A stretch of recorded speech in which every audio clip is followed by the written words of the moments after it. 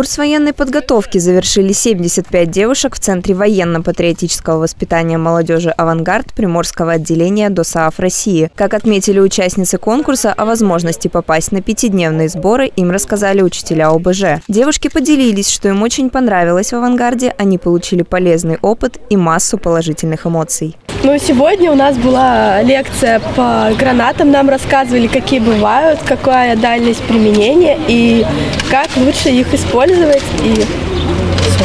А вот сейчас вот как раз практика идет после лекции.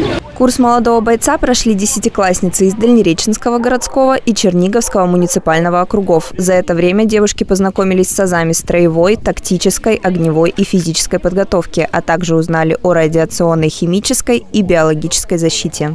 Каждый день у нас все по-разному. Каждый день наши преподаватели что-то дают нам новое. Мы за эту неделю получили очень много полезного опыта, знаний.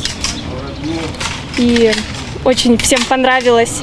Девочки все из э, нашего отряда в полном восторге. По словам заместителя командира роты, все участницы смены хорошо проявили себя и отлично справились с боевой подготовкой. Всем девочкам желаю успехов, победы.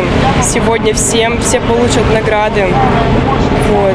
В разборке автомата много девочек очень хороших, все быстро разбирают, все умнички.